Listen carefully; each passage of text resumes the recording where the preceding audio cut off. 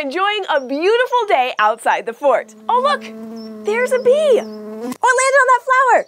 Let's watch and see what it does. We'll get a little closer, but not bother it. There it goes, buzzing off to find another flower. You know, bees are some of my favorite animals to watch. They always seem so busy. But do you ever wonder what they do all day? You might already know that bees are insects, like ants and beetles. Like all insects, bees have six legs and three body parts. In bees, these body parts are often brown or yellow, and sometimes they're striped with both colors. Bees also have four wings. When their wings move back and forth fast enough to make them fly, they make a buzzing sound that we think of when we hear the word bee. And there's another part of the bee that you've probably heard about the hmm? stinger. But not all bees have stingers. And the ones that do don't sting unless they have a really good reason to, like when they're frightened, or to protect themselves, or to chase other animals away from their nest. There are lots of different kinds of bees, but the two kinds that you've probably seen most often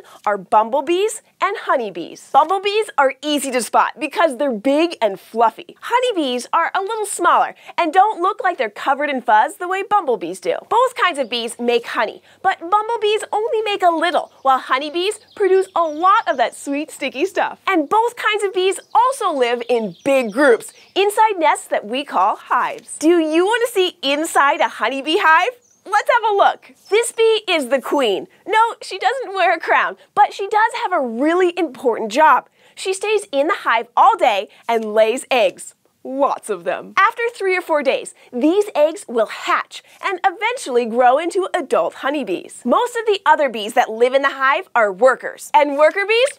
Yep, Squeaks, they do almost all the work. There are lots of jobs for them to do, like helping to build the hive and keeping the hive clean. But their main job, the one that they do almost all of the time, is to look for food. That's what the bee that we saw was doing. She was getting food from that flower. When a worker bee lands on a flower, she drinks a sweet juice from the inside of the flower. This juice is called nectar. While she's on the flower, the bee also brushes up against the yellow dust that the flower makes. This dust is called pollen. So while she's gathering nectar, the bee also gets covered with pollen as she moves around on the flower. When the bee has as much nectar and pollen as she can carry, she flies back to the hive. She feeds some of the nectar and pollen to the baby bees and to the queen, and then she turns most of the nectar into honey. Bees fly back and forth all day collecting nectar and pollen from flowers and taking it back to the hive. When it gets dark, they go back to the hive and rest, and then they're up early the next morning to start again. If you've ever heard the expression,